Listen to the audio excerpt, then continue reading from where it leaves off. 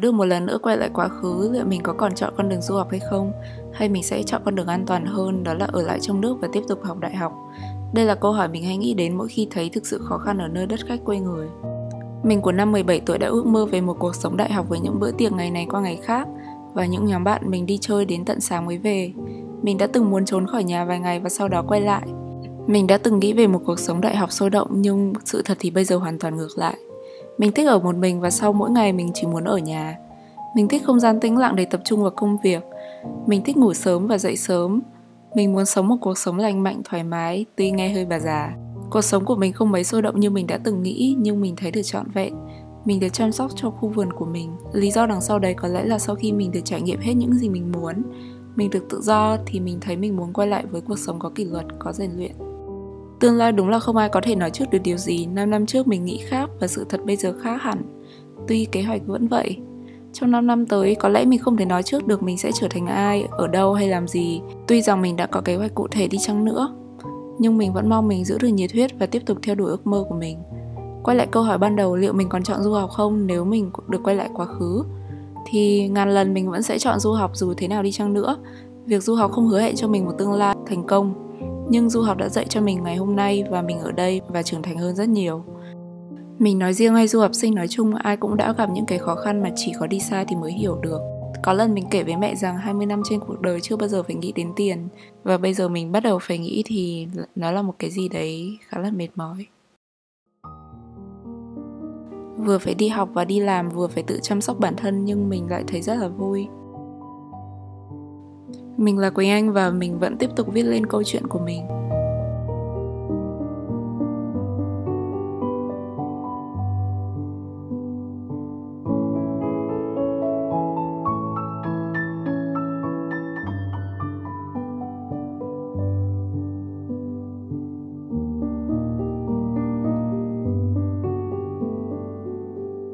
Khi mà mình chưa đầy 19 tuổi thì mình đã qua Đức rồi và bắt đầu một cuộc sống tự lập thì mình cũng khá là hào hứng, cũng vui nhưng mà chỉ được lúc đầu thôi.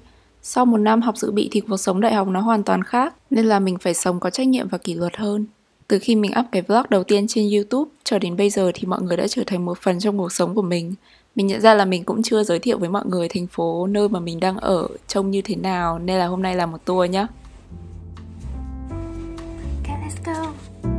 Thành phố mình đang ở tên là Düsseldorf, là một thành phố thủ phủ của bang Nordrhein-Westfalen nằm ở phía tây nước Đức giáp với Hà Lan và Bỉ.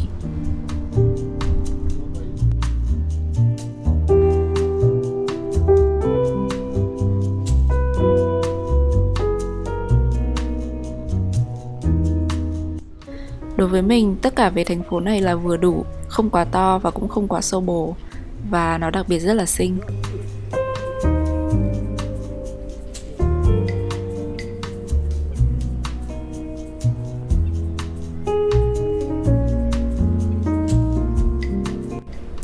Để mà nói vì sao mà mình chọn thành phố này là để mà nói vì sao mình chọn thành phố này là thành phố mà mình muốn học đại học. Tại vì cái bang này cũng khá là xinh. Thực ra là kiểu bang này đối với mình nó là cái bang vừa phải nhất so với các bang. Các bang ở phía miền nam như là Bayern hay là Baden-Württemberg thì họ sẽ nó sẽ đắt đỏ hơn. Baden-Württemberg thì thu học phí còn München thì rất là đắt uh, Berlin thì mình thấy nó hơi sơ bồ còn Hamburg Hamburg cũng được nhưng mà tại vì Hamburg bị lệch kỳ so với cái hạn visa của mình nên là mình không thể mình không thể nộp vào Hamburg được trừ khi là mình phải chờ kỳ nhưng mà mình không muốn chờ kỳ nữa.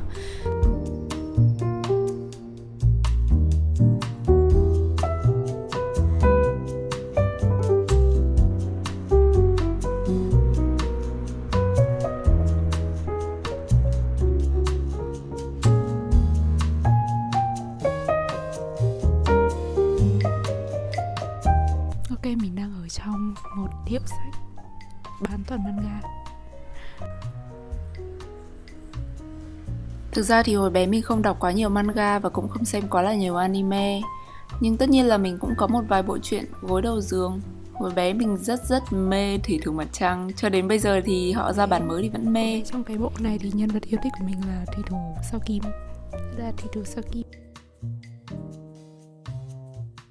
Tất nhiên là những hiệu sách như thế này thì ở Việt Nam không thiếu Nhưng mà ở Đức thì mình nghĩ là trên đầu ngón tay thôi. Và trong này họ bán nhiều chuyện này, tạp chí và đồ văn phòng phẩm nhập từ Nhật sang. Và đây chính là tuổi thơ của mình.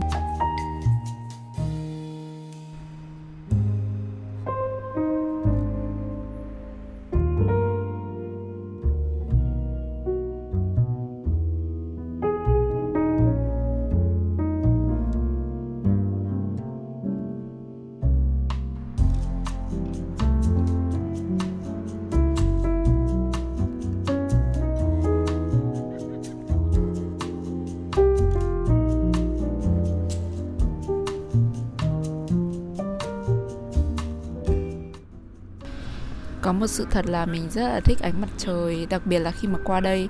Thực ra ở Việt Nam thì mình không quá là thích đâu, tại vì mình, tại vì ở Việt Nam thì quanh năm suốt tháng là nắng ấy. Nhưng mà ở bên này khi mà mùa đông đến thì mọi thứ rất là u tối, xong rồi là kiểu mọi thứ hơi trầm cảm. Thực ra không phải trầm cảm, hơi đâu mà là là rất trầm cảm. Nên là mùa hè rồi mùa xuân bắt đầu đến thì mọi người mọi người ra đường rất là nhiều. Và xong rồi là, với cả là ánh mặt trời cung cấp vitamin D cho mình nữa khi mà mùa đông xong rồi không có vitamin D ấy, thì người mình mệt này xong rồi là người mình rất là yếu. Nhưng mà cho đến khi mà có ánh mặt trời xuống thì mọi thứ kiểu tươi tỉnh hơn ấy. Đó nên là lý do mà uh, ở Việt Nam mình ghét nắng lắm nhưng mà qua đây thì nên tắm nắng nhiều hơn. Và một sự thật nữa là mình khá là thích không gian của mình. Mình nghĩ mình không phải là người hướng ngoại và cũng không phải hẳn là người hướng nội mình sẽ ambivert nghĩa là người hướng chung uh, mặc dù kiểu mình cũng khá là thích đi chơi mình thích đi ra ngoài nhiều mình thích đi chơi với bạn bè nhưng mà mình sẽ chỉ đi chơi chung với những cái người bạn mà mình đã quen từ lâu rồi trong nhóm nhỏ mà thôi. Hoặc là mình cũng có thể tham gia các cái buổi tiệc kiểu sập sình sập sình ấy nhưng mà không quá nhiều. Cái thời gian du học dạy mình rất là nhiều về cuộc sống tự lập phải biết tự chăm sóc bản thân và có cái mục tiêu của mình nói chung là cuộc sống tự lập thì mình thấy vui vẻ hơn, mặc dù kiểu rất là vất vả ấy. Hồi trước cái suy nghĩ đầu tiên của mình khi mà mình đi du học đó là tự do và thoát khỏi vòng tay của bố mẹ. Nhưng mà sau khi qua đây này, rồi ở đây một thời gian, rồi học tập và làm việc, thì mình thấy là tự do càng lớn thì trách nhiệm càng cao. Khi mà được thả ra thì mình mình thấy ban đầu cũng vui đấy.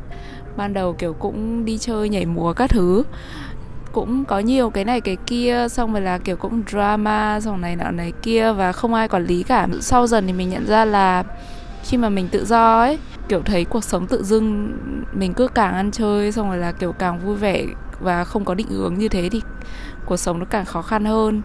Và tự do cũng đồng nghĩa là mình sẽ phải tự lập, tự chăm sóc bản thân này rồi tự định hướng cho cái công việc tương lai của mình mình muốn gì, mình làm gì, mình cần phải làm, cần phải hiểu bản thân ở chỗ nào. Thực sự, kiểu, cái đấy là cái du học dạy mình. Mình mới có 20 tuổi thôi, nhưng mà cái khoảnh khắc từ 19 lên đến 20 ấy, nó là, kiểu, đúng kiểu một cú sốc lớn cho mình ấy. Kiểu hồi trước mình bị cuống, mình muốn làm tất cả mọi thứ, mình mình áp lực thế hết. Nhưng mà sau đấy thì mình nghĩ là ai cũng có con đường riêng của họ thôi và mình cứ cứ dần dần phấn đấu và thực sự phải tin tưởng bản thân và chắc chắn là phải đi đến cùng. Nói chung là mình đã đề ra cái gì và mình phải đi đến tận cùng của cái vấn đề đấy. Từ khi mà mình bắt đầu làm youtube cho đến bây giờ thì mọi người đã trở thành một phần trong cuộc sống của mình. Và mình thực sự rất là cảm ơn mọi người vì mọi người đã luôn ở đây. Nên là thực sự, kiểu, đây là những cái mà mình thấy rất là đúng và, kiểu, sau một, sau 2 năm thời gian và tiền bạc mình đi du học mình nhận ra và mình bây giờ mình đưa cho mọi người. Nên là yeah, cứ bình tĩnh thôi và cái gì đến rồi cũng sẽ đến. Khi mà chúng ta lạc quan và khi mà chúng ta phấn đấu thực sự rất là phấn đấu. Phấn đấu một cách kiểu từ tấm lòng ấy chứ không phải là kiểu ừ bảo bảo là ngày một, ngày hai tao rất là phần đầu đâu, nhưng mà thực sự phải làm và thực sự phải tin tưởng vào cái điều đấy thì cái đấy cũng sẽ đến thôi. Và mình, tại vì mình tin là có những cái kiểu mình thấy nó đúng và và thực sự nó đến thật đấy. Bình tĩnh, tin tưởng và kiên định với cái gì mà mình thực sự muốn làm và thực sự đam mê theo đuổi cái ước mơ của mình thì chắc chắn là nó sẽ đến thôi. Yes.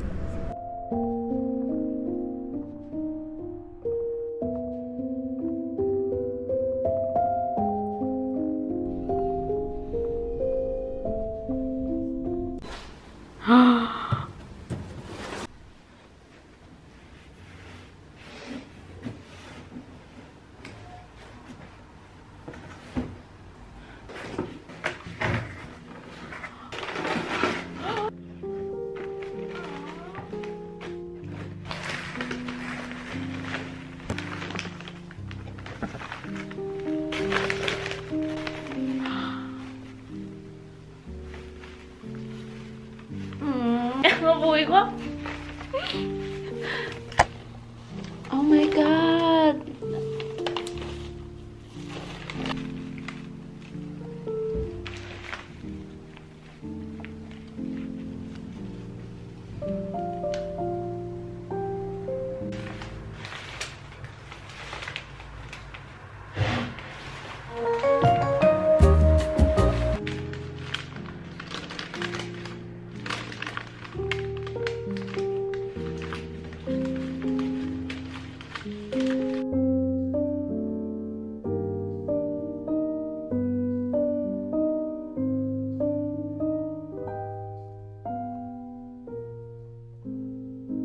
thường mình không biết cầm hoa đâu.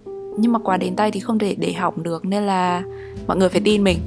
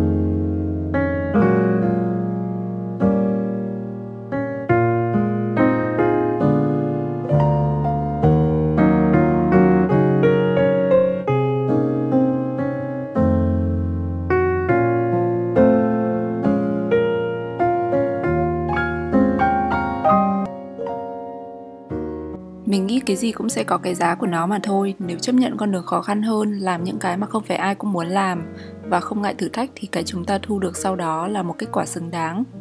Tuy vậy du học hay không, đôi khi nó cũng chỉ là một cái hình thức bởi mọi thứ xung quanh chúng ta, cách chúng ta nhìn nhận vấn đề và thế giới vẫn phụ thuộc vào mỗi người.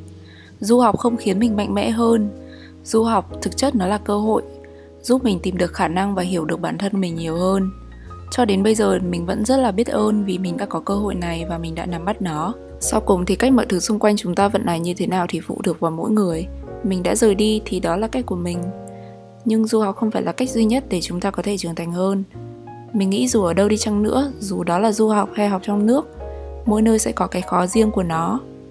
Quan trọng là chúng ta không ngại với những vấn đề mới, với những thử thách mới và mình nghĩ thì đó chính là cách mà chúng ta trưởng thành hơn vì thế nên mình muốn nhấn mạnh là việc du học có hay không chúng ta nên cân đối, so sánh về nhiều mặt. Không nhất thiết phải du học thì mới thành công và không phải ai đi du học cũng có một sự nghiệp vững vàng. Thay vì đó, hãy hiểu du học như là một cơ hội và việc nắm lấy hay có được hay không phụ thuộc vào mỗi người. Mình nghĩ cái sau cùng đem đến thành công cho chính bản thân mình vẫn luôn luôn là bản thân mình.